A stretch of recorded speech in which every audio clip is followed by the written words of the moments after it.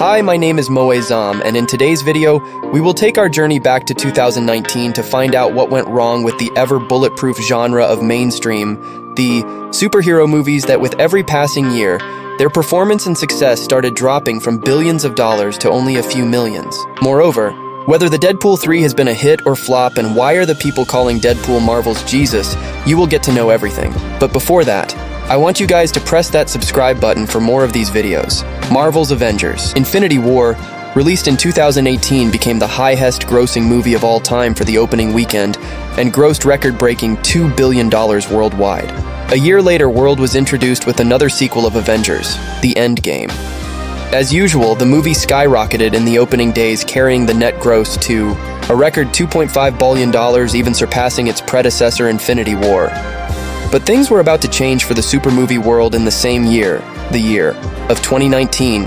The COVID pandemic started affected every walk of life. Post-pandemic, Marvel releases include movies like The Ant-Man Quantumania, 2023, and The Marvels, the former, grossed $476 million worldwide against the production budget of 326 million, while the later collected only $206 million against a gross production budget of $274 million. If we combine their net incomes, it still stays in million line. Even the Marvel Studio co-president Louis D'Esposito admitted to Empire magazine that it's been a rough time. However, the declining empire and the dying fans reflected a ray of hope with the announcement of Deadpool 3 that was going to be released on July 26, 2024 in the United States and worldwide. Being the most carsy and funny superhero, people already had that hope. It's going to do well. They labeled him as Marvel Jesus, that he would come and save the Marvel Studios.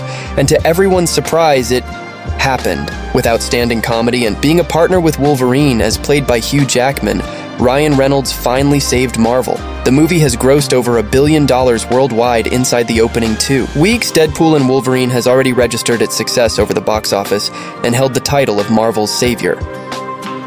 If you found out something new from the video, please do subscribe to the and share this video.